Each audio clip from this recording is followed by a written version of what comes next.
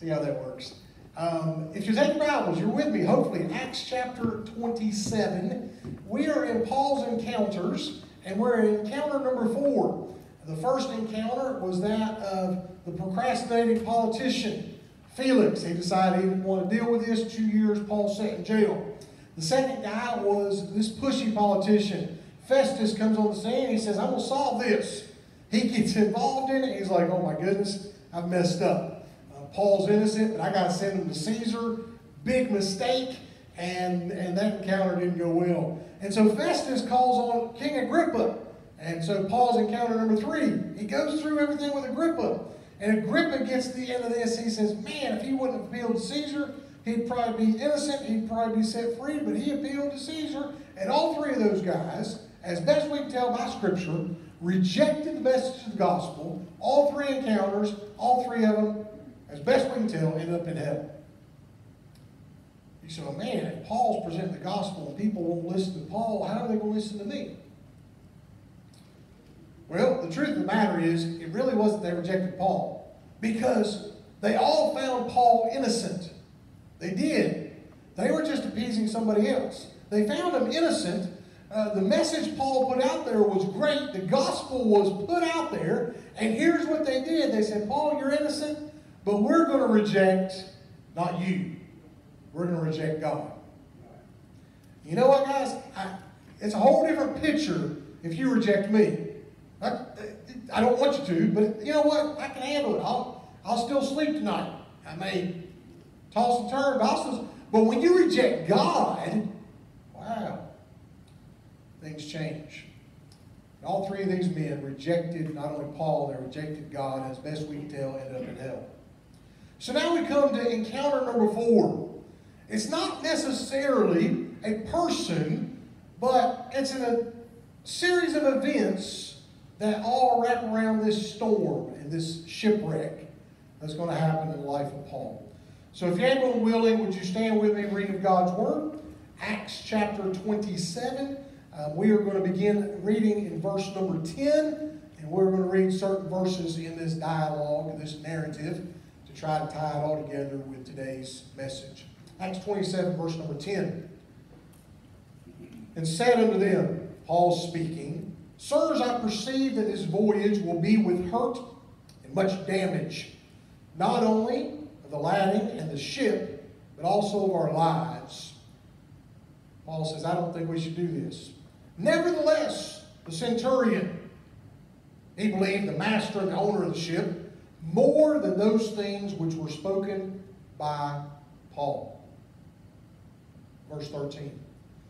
When the south wind blew softly, supposing they had obtained their purpose, loosing thence, they sailed close by Crete. But not long after, there arose against a tempestuous wind called Euroclydon. Big, huge, massive storm. Look with me in verse 21. I'll tie the dialogue together here in a moment. But after long abstinence, Paul, he stood forth in the midst of them. He said, Sirs, you should have hearkened unto me, and not have loosed from Crete to have gained this harm and loss. Should have listened to me. And now I exhort you, be of good cheer. For there shall be no loss of any man's life among you, but of the ship.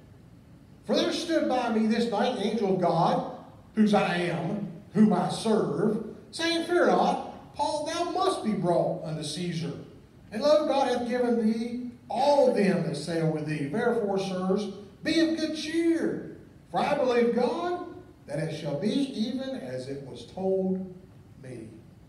God bless the reading of his word. You may be seated this morning.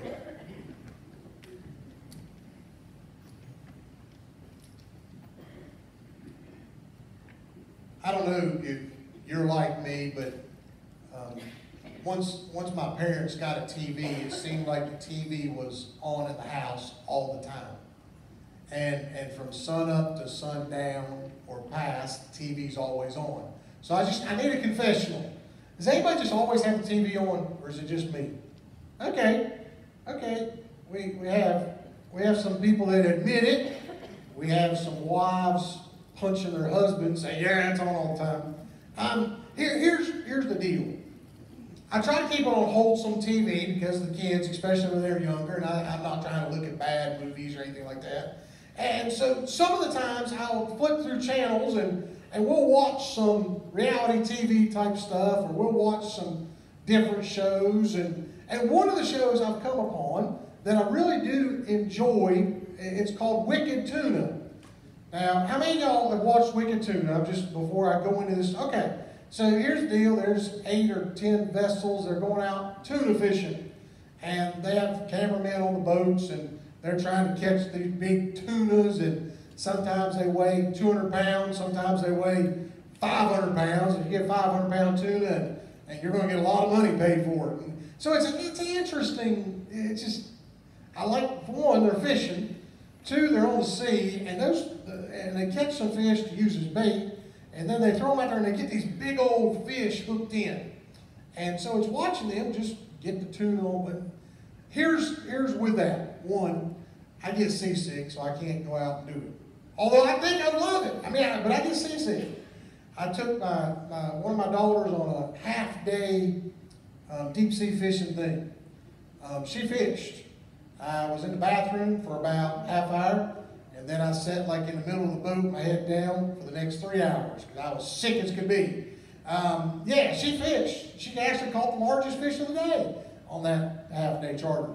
I would love to do it, but I can't. I just can't. So I, I live through these guys. And here's what happens these, these guys sort of risk their lives when storms come up. They're out there fishing, and it's raining on them, and the waves are just everywhere. And I'm like, man, they must be paying you really, really, really good money to do this for TV. Especially the cameramen. I mean, they don't even get to fish. They're out there watching others fish. And the storms come up and they, they just keep fishing through it and, and like nothing's going on because, well, they enjoy the reality TV. The storms that come on the sea, I'm, I'm okay to watch. I can sit in my in a recliner and watch the TV, and I can watch them go through the storm. And I watch them endure the storm, and to this point, they all get home okay from the storm. And, it's, and I get to watch them go through it. It doesn't bother me one bit, and sometimes it's entertaining to me. But when it comes to real life, when the storm hits you or me, things change. They change dramatically. We've gone through family storms. We've all had family issues that, that have caused problems. Uh, we all have in-laws and outlaws in our family, uh, you know, people in our family that cause issues. And, and through all that, we've gone through storms in life.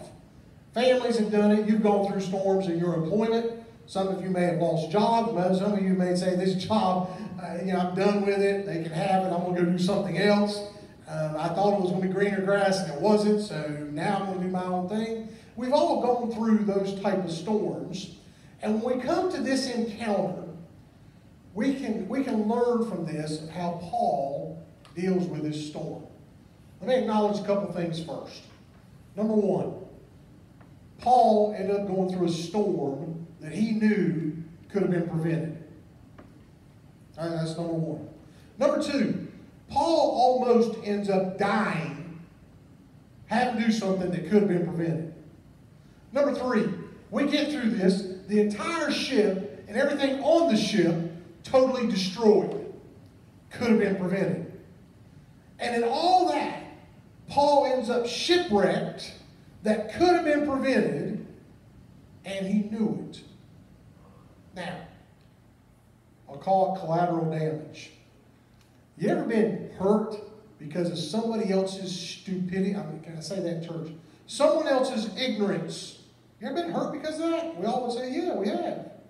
Somebody else makes a huge mistake and affects me. Someone else makes a decision that is wrong and it affects me. Someone else wouldn't listen to my advice and it affects me. And Paul ends up having to go through this entire storm in his life to be shipwrecked And, and honestly, if you study out his life and his writing, Second Corinthians, he says he was shipwrecked three times. It wasn't the first time he's shipwrecked.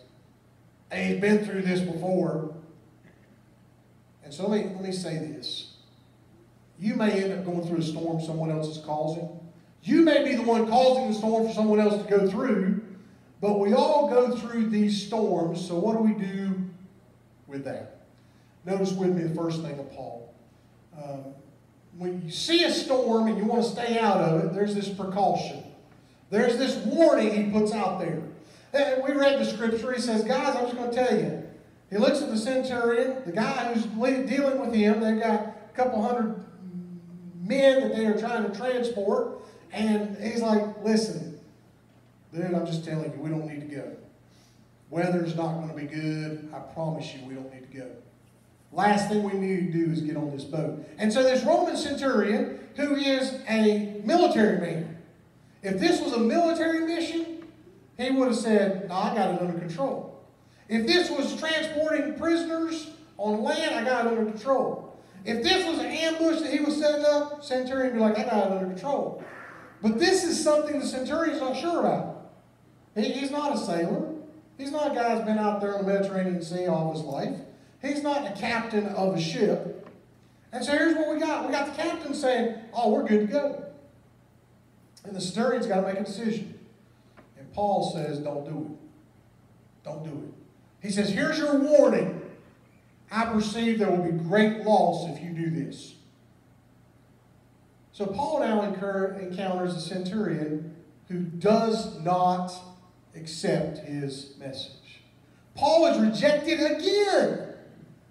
I mean, how many times do you have to be rejected when you're trying to warn somebody? I think of I think of the whole parenting setting. I'm now, according to my wife, parenting two adult children. And and so now it's like, you know, do I tell them what to do? Do I warn them, hey guys, you really need to do this? And then I know y'all never dealt with this, but your children don't do what you told them to do. Has anybody ever had your child, adult children, not do what you tell them to do? Y'all, nobody wants to raise their hand? Yeah, a few people. Yeah. Oh, wow. Jerry, thank you for that. I appreciate that. Um, you know, when you're adult children, it's like, I, come on. I mean, I, I, know I'm not 50. I'm almost 50. I know, but really, you. And so I tell my wife, I hate being right, but I don't. But I do, but I don't. Um, and when I'm wrong in those settings, it's like, man, I can, I can honestly, I'm glad I was wrong. I'm really glad, but I was right. Um, here's, here's Paul. He gives the warning, and they ignore him once again.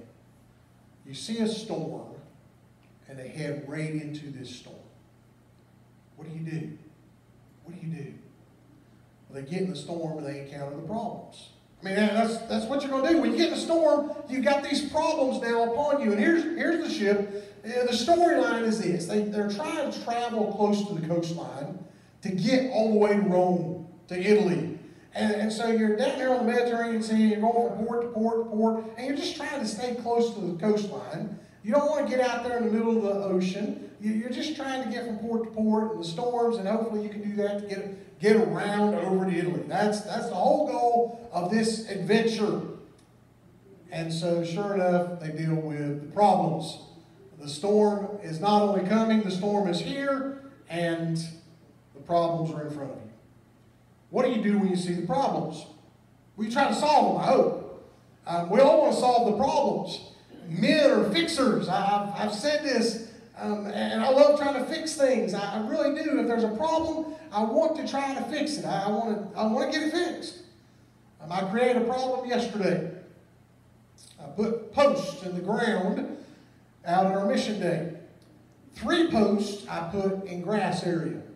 Three posts I put in rock. And I used a post driver. My daughter, one of my daughters helped me, and I post drive. I drove those green five foot stakes in the ground. And I put them in rock. So at the end of our mission, we need to get the stakes down. And for some reason, I guess I have more strength than I think, I put the stakes in the ground too far. And I couldn't get them out. I couldn't get them out. So I looked at one guy and said, You got a hammer? And he goes over the truck, pulls out one of these five pound sledgehammers. We start banging on it, banging on banging on it. He's like, Hold on. He goes, It's a crowbar. Get the crowbar over. So now we're trying to use a crowbar and a hammer to get these green stakes out of the ground that I put in the ground. So here's, here's the image I want you to get. I want you to see there are three men attempting to fix what I messed up. I mean, that's the bottom line. And then we had one blessed lady come over and, and made a comment about all these men just standing around trying to get something done. And she was right, because by that time, two of us were just standing watching the other two try to fix what the preacher created, the problem he, he put into place. Uh, here, here's where I say most of us create our own problems. We create our own problems. We know better. We, we know better than walk in the storm. We, we know better than to even go that direction. We create our own problems in this whole setting. And so now in the storm, we need to fix it. We need to fix it. And this is where I don't want you to miss this. Some brilliant theologians, pastors have, have spent hours of study and, and in this. When you're in the storm, there's a process. Paul, according to Scripture, had basically been absent. He had kept his mouth shut. He hadn't said anything. And it's where we, where we jumped in our reading at verse 21. He had kept his mouth shut. He had sat back. He had watched them in this storm for days. And he had yet to come out and say, I told you so. He's getting ready to. But he hadn't done it yet. Because when you're in the storm, you're sort of just trying to figure out, what am I going to do next? What am I going to do next? The captain of the boat, well, he's trying to do everything he can to keep his boat going. The centurion, he's trying to keep all of his, all of his men under him, all the criminals under him uh, in the criminal hold and keeping them where they need to be. Um, the, the people on the ship, the deck, the, the workers, they're all trying to navigate this storm. And Paul finally makes his scene known in the storm. And let me, let me give you this line, and we're going to get to his statements. When people are in a storm, one, they really do want help. They really do want help. Now, that help may cost you. They may not like you. They may hate you. In the storm, someone walks in and says, Hey, okay, let me, let me help you fix this. And you're like, I don't need you. I don't want you. They may be mad at you for coming in and saying, Well, this is how you fix your, your marriage. I don't want you to help me fix my marriage. I'll figure it out. And there may be some, some problems, but here's what Paul does. He walks up after being absent, verse 21, and he says, Guys, I told you so. Here's the process I'm going to put before you. First of all, I'm going to condemn you for not listening to me. I'm going to condemn you. I warned you, I told you so, and I'm going to condemn you for not listening to what I said. You say, That's mean. Okay. Okay. It's the truth. It's the truth. Because maybe next time they'll listen to me, because they're going to need to. You should have listened to me. You should have, watch this, pastor to his church.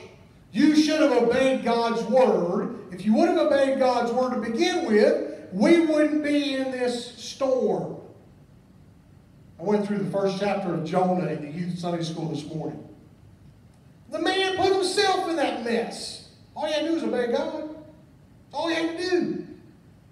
And many times we create our own storms. Paul says, You messed up. You messed up.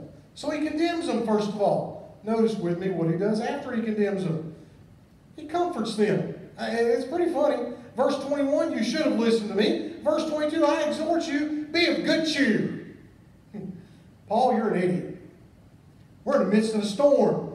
This Euroclydon. It's this whole northeaster. This thing's almost like a, a tornado, a hurricane, whatever you want to put them both together. It's massive. Don't tell me to be of good cheer. We've thrown over overboard. We've lightened the ship. We've done everything we could. And you want me to be of good cheer? It's the same Greek word that Jesus tells a blind guy when Jesus shows up to him and says, Hey, be of good cheer. I'm going to heal you.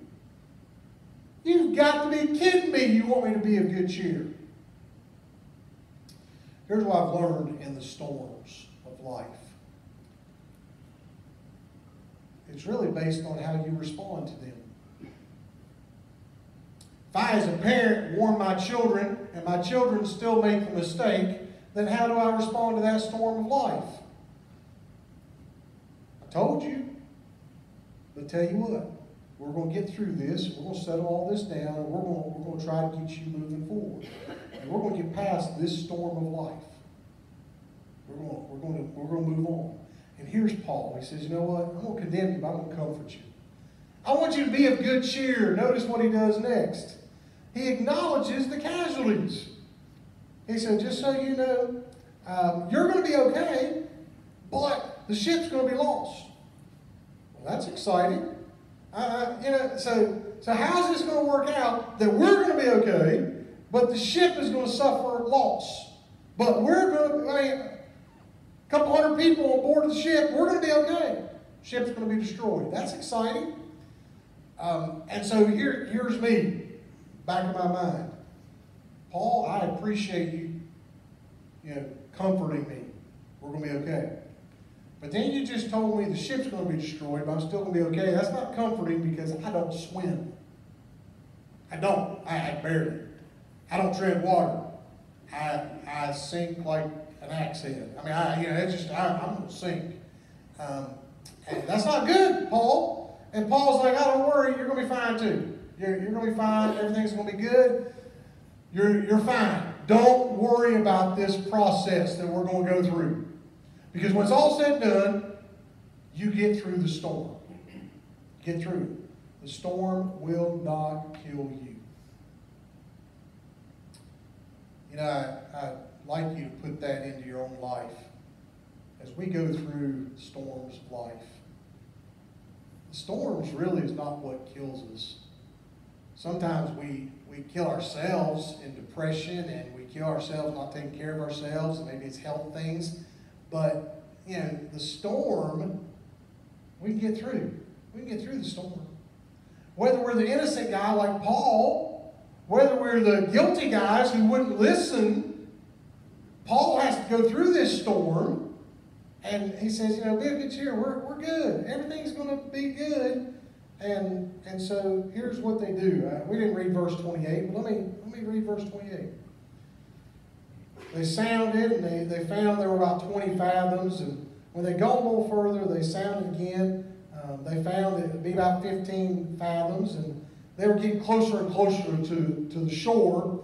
Verse 29 Fearing they should fall upon the rocks, they cast four anchors out of the ship, out of the stern, and they wished for day.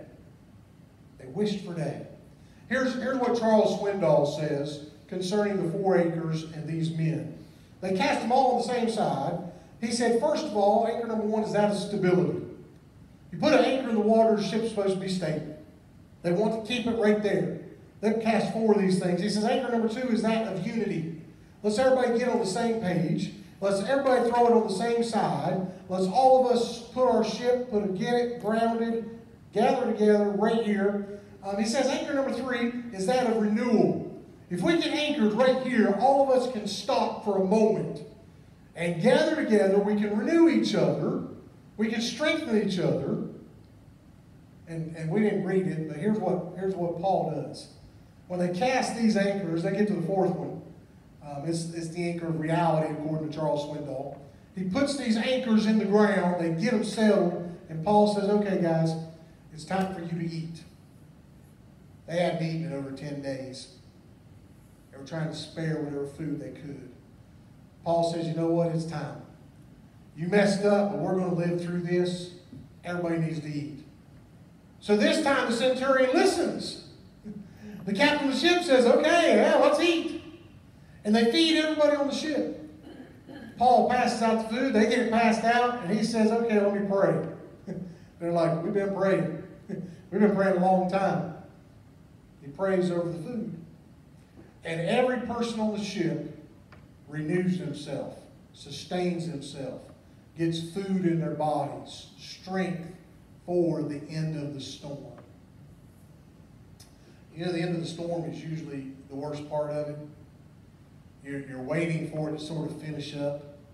You've endured it, and you're like, will this thing just, will this thing just go? It's, it's a person that's been caught in a criminal deed, and they, they finally are facing their judgment in a courtroom.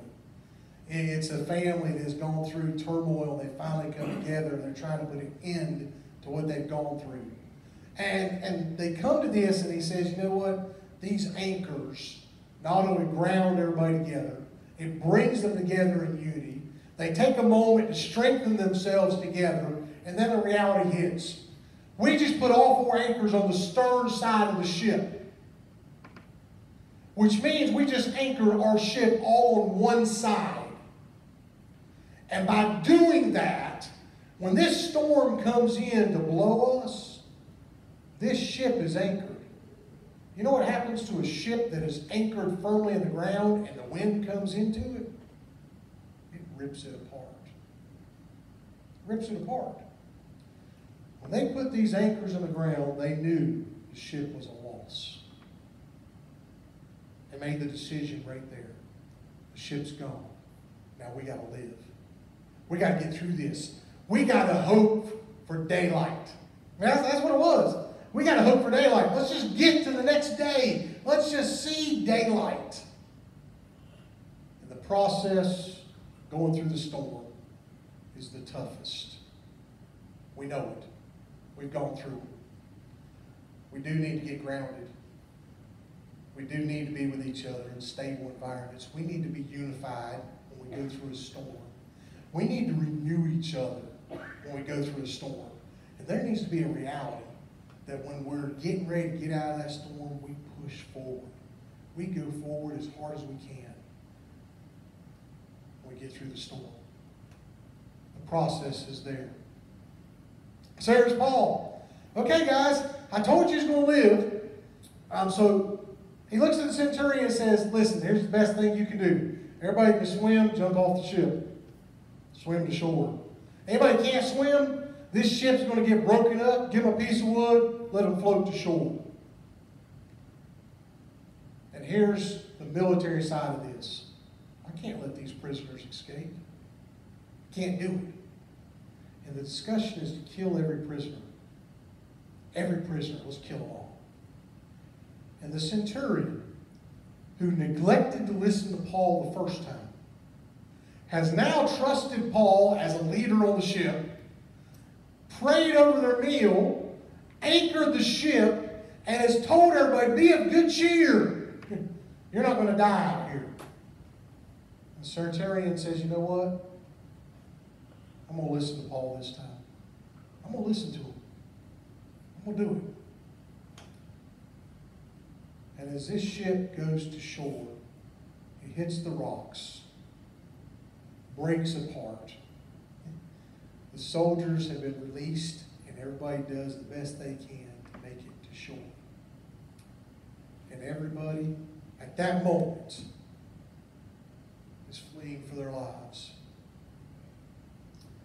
The bottom line is, in that moment, when you go through the storm, God's going to protect you. God's going to protect you in the storms of life. Uh, we quote a scripture many times out of context, but uh, we quote it saying, well, God's never going to put on me anything more than I can handle. Not true. If we put it in context, it's that God is not going to test you with something that you can't handle. I've seen, sadly, I've seen many people die of cancer. They went through a storm they couldn't handle. They died. We say, well, if they were a Christian, they went to heaven. Well, if they weren't a Christian, they went to hell. Guess what? God put them through something they couldn't handle. He gave them an opportunity to handle it, they couldn't. They didn't accept Him as Savior. And the truth of the matter is, this storm, God says, you know what? I said, I'm going to put Paul in Rome and I'm going to protect Paul through this storm. Because I'm going to protect Paul through this storm, I'm going to show his leadership, and every person on this ship is going to be protected through this storm. Can you imagine for a moment going through a massive storm and God protects you through it? Now, you lost your belongings, you lost the ship, you lost any supplies that were on the ship, you went through a huge shipwreck, and you get to shore, you realize God protected you through all that. What are you going to do? What are you going to do? I, I mean, cut to the chase. When you get through the storm, and you look back at the storm and realize I'm safe, and God protected me through this, and I went through this crazy process, and yes, I went through a lot of problems in this storm. And yes, there was even a, a warning. I was precautioned about this. I didn't have to go through all this. And all this brought me to God's protection. When I get done, as God protects me through this storm, here's what I'm going to do when the storm's over. I'm going to praise the Lord. I'm going to praise the Lord. I'm going to tell some people, hey, I got through a massive storm. You wouldn't believe the storm I just got through. You wouldn't believe God's grace on my life, even if I told you everything God's brought me through. You wouldn't believe it. The protection leads us to God's praise. God's praise. What do you do when the storm is over? Here's, here's usually what we do when the storm's over. We kick back and say, Man, I'm glad I got through that. You heard what I said. Glad I got through that. Glad my family got through that. Glad I survived that storm. And we miss praising God for getting us through the storm. We miss it. And so here's, here's where I want to draw us all together, finish up this sermon today. group by the name of Casting Crowns, when they first started out as a trio, now they're a group of about six, seven different people. They wrote a song in 2005 stating, I will praise you in the storm. The chorus goes something like this I'll praise you in this storm. I will lift my hands, for you are who you are, no matter where I am. Every tear I've cried, you hold in your hand. By the way, that's in Proverbs. You never left my side, and though my heart is torn, and though my heart is torn, I will praise you in this storm. So here's Paul. Whatever storm you're in, be of good cheer. Be of good cheer. Here's, here's what we want. And I'm just going to be honest with you guys.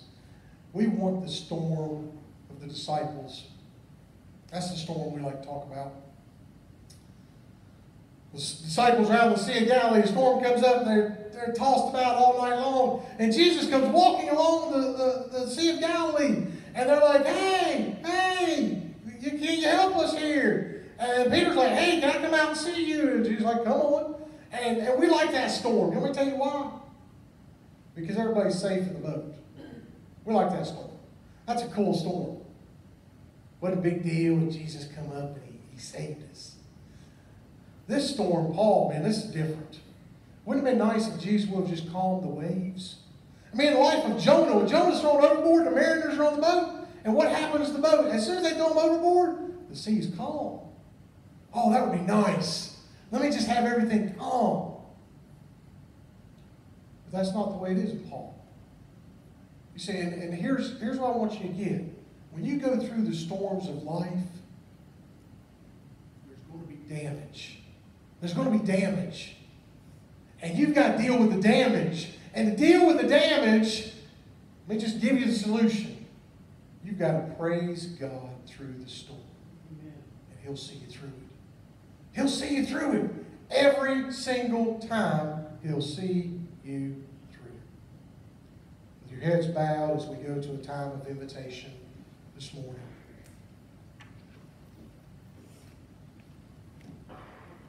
encountering the storms. We'd like to have a nice landing when it's all said and done. We'd like to have the sea all calm when it's said and done. The truth of the matter is, many of us are dealing with damage from the storms we've gone through.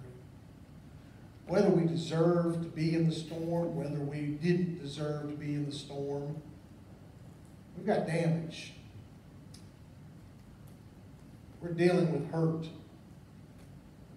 We're dealing with things that we just can't get rid of eating at us. That person shows up and it just brings back up the damage from the storm. And so here's the invitation today. Every one of us have been damaged by a storm. Might have been a person, might have been a family member. We might have even caused it. The way you get through that damage is to praise God that you are where you are right now. It's to give God praise through everything He has brought you through. And to give Him praise going forward. Should we be warned? Yes. Should we listen to the warnings of God? Absolutely. Should we praise Him when He gets us through the storm? Every single time. Do we come out different? Yes. Paul encounters a storm. The Lord blesses him through it, strengthens him through it, allows him to become a leader in the midst of being a prisoner through it all. And over 200 lives are saved. What does Paul do? He gets to praise God and say, Be of good cheer. Lord, I ask you right now you would help us to be people of praise. Help us to praise you for who you are, for what you have done. You've brought us through many storms. The warning that you have heeded to us in your word to prevent some storms of life. And then, Lord, as we get through these storms, that we will praise you and give thanksgiving to you as you deserve. I ask these things in Jesus' precious